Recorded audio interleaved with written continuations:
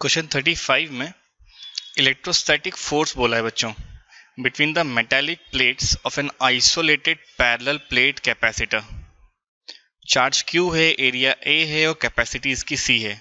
आपको मांगा गया है इलेक्ट्रोस्टैटिक फोर्स है ना? किसी भी आइसोलेटेड कैपेसिटर का। इस तरह समझ लो इसको। एक कैपेसिटी रखी होगी अपने पास और इसके सेंटर पे इलेक्ट्रिक फ़ील्ड होती है, जिसका डायरेक्शन ये होता है। दो थिन प्लेट को ऐड कर देंगे तो इसका आंसर मिलने लगता है।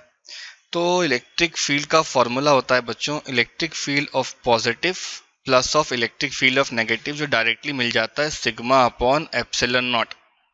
Electrostatic force का मतलब होता है जो किसी भी एक प्लेट का चार्ज रख लो, ठीक है? क्यू इंटू जो भी इलेक्ट्रिक फ़ील्ड यहाँ पे मिल रही है। तो आंसर आ गया अपना Q sigma by epsilon naught. ये हो गया क्यू सिग्मा को भी क्यू बाय ए लिखते हैं और यहाँ हो गया एप्सिलन तो फोर्स आ रहा है बच्चों अपना Q square by A epsilon ये इससे डायरेक्टली जा रहा है और इससे क्या जा रहा है? इनवर्सली लेकिन कहीं पे डी का नामो निशान नहीं है। है ना? तो अपन ऑप्शंस पढ़ते हैं। Inversely proportional to distance between the plates ये गलत हो जाएगा। Proportional to square root of distance ये भी गलत हो जाएगा। Linearly proportional to distance distance की तो बात ही नहीं करनी है, क्योंकि ये इंडिपेंडेंट ही होता है। ठीक है?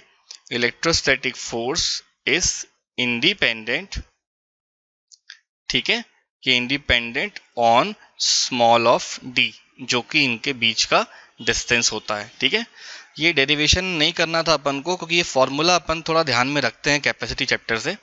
ऑप्शन फोर डायरेक्ट भी लगा सकते हो इंडिपेंडेंट होगा किसके? डी के। आइए आगे बढ़ते हैं।